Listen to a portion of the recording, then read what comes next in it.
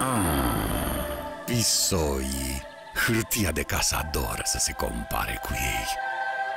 Pe de altă parte, ștergi vreodată pete cu pisoi? Mototolești pisoi? E, nu, ștergi cu hârtie. Mototolești hârtie de la mototol, care e făcută fix ca să fie mototolită.